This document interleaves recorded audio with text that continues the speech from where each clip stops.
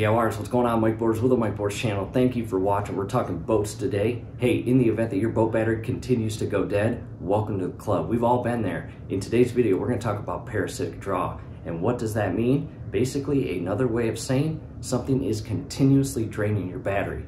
Not cool, right?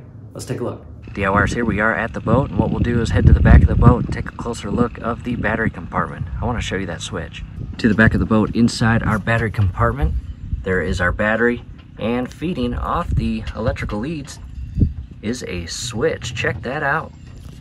And right now, taking a closer look of it, you can see the battery icon is tipped up on its side. That electrical switch is in the off position and it's cutting any and all electrical power to the system, which in return doesn't allow our battery to die while we're gone. Because what we were experiencing was we would spend the weekend on the water with no issues. Then we'd go away for a few days, we'd come back and unfortunately the battery was dead, which was frustrating. So long story short, we realized we have what's called a parasitic draw on our electrical system, which drains the battery. And parasitic draw what does that mean? Basically, that is a fancy way of saying something is continuously draining your battery while the engine is off and the boat is sitting, which again is extremely frustrating and annoying. And until you figure out what exactly is causing it, it will be a constant annoyance on your mind. So what we would do, once we parked the boat and went away for a few days, just before we left, we would actually disconnect the negative cable from the battery, which at that point, it cuts all electrical power to the battery. And the days we were gone, there was absolutely no draw from the battery. So we'd come back a few days later, reset secure that black negative cable to the battery lead and the battery would be full charge. We'd start the engine we'd spend the day on the lake. However, that gets annoying as time goes on. So what my dad did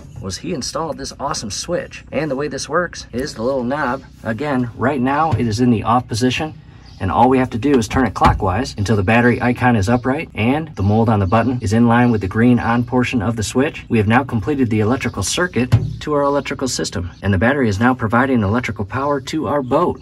From here, we start the engine, spend the day on the water, and when it comes time to park this and head away for a few days, here's what we do. We turn that knob counterclockwise to the off position, which at that point, again, it cuts all electrical power from the battery, alleviating any and all possibility of a parasitic draw, which again allows us to leave for a few days and then come back to a fully charged battery turn the switch on, start the engine, and head back out on the water. Again, alleviating that parasitic draw, which as we mentioned, just a fancy way of saying something is continuously draining your battery. Not cool at all. So we definitely recommend installing one of these switches. Scrolling above right now is a step-by-step -step video link on installing this switch on our jet ski. Because we love the switch so much on our pontoon, we installed one on our jet ski. Let's go check that one out. I have the jet ski's shore side. I removed the seats to give us better access to the internal hull where the battery is, as well as that switch. Check that out. There it is. And as you can see, it is in the off position because the battery is on its side.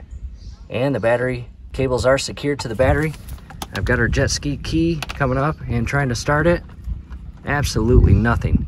No gauges work, no sounds whatsoever. Pull the key off, come back down in the hull, turn the switch on by shifting it clockwise. From here, the mold of the button is in position with the green portion as well as the onward, and the battery icon is upright, as you see here. And that switch is now providing power to our battery. Grab the key, come up top.